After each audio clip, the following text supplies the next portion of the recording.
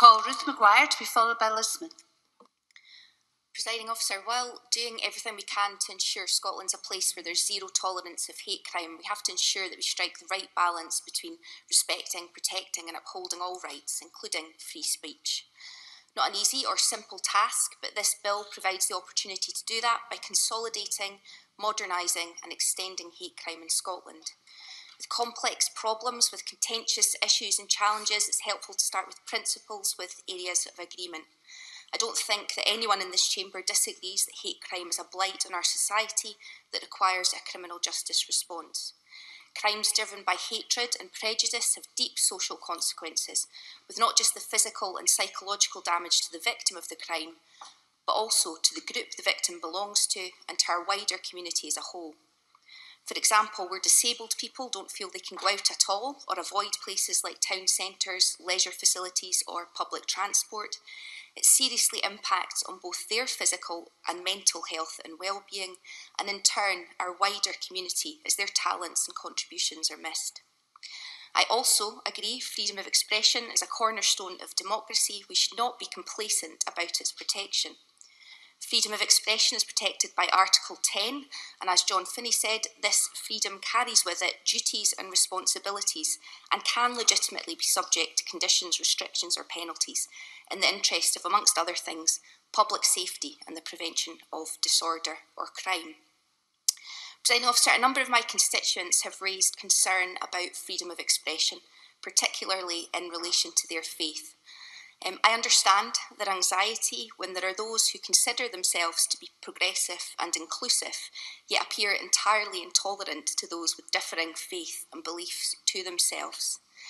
I have to say that at the moment, in regard to stirring up, I agree with the Humanist Society of Scotland when they say charges under the bill on stirring up, as is currently drafted, would not take into consideration intention.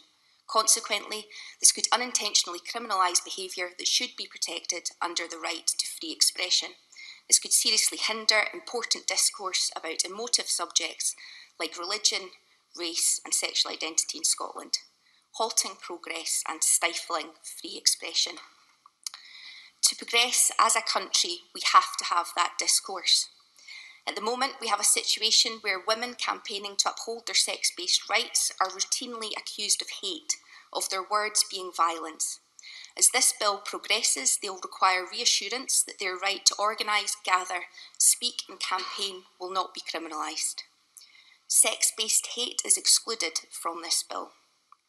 I appreciate the complexity and differing views around how best to approach misogyny from a criminal justice perspective, and I do welcome the Scottish Government's commitment in principle to develop a standalone offence of misogynistic harassment.